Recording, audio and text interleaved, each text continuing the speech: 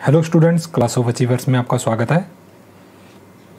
और इस वीडियो में देखिए सोल्व करेंगे हम इस क्वेश्चन को। रूट फाइव को नंबर लाइन में रिप्रेजेंट करना है, ये वाले को। अब देखिए रूट फाइव जो है, एक इरेशनल नंबर है, और इसका कोई एंड एंड नहीं होता है, ठीक है? तो अब इसको नंबर लाइन में रिप्रेजेंट करने से पहले आपको एक चीज़ समझनी पड़ेगी वह पाइथागोरस थ्योरम देखिए राइट एंगल ट्राइंगल में लगती है हाइपोटेनिस और बेस और ये हाइट तो इसको एल से रिप्रेजेंट कर लो. ये आर और ये एच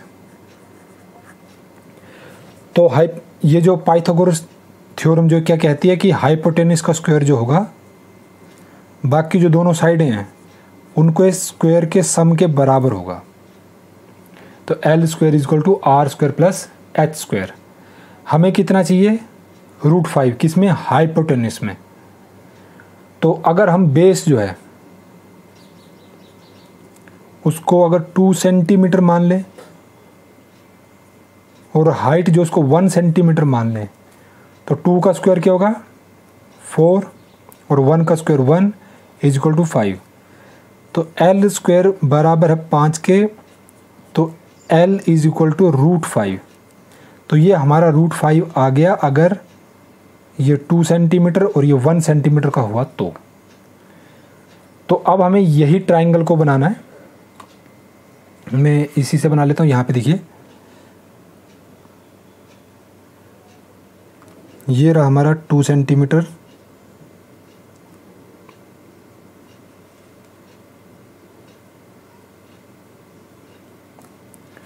और वन सेंटीमीटर का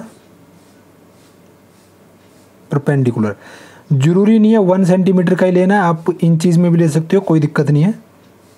उसमें थोड़ा बड़ा आएगा तो ज़्यादा क्लियर दिखेगा। यहाँ पे जैसे छोटा दिख रहा है। तो ये नाइन्टी डिग्री का है। अब इसको मिला दीजिए यहाँ से यहाँ तक।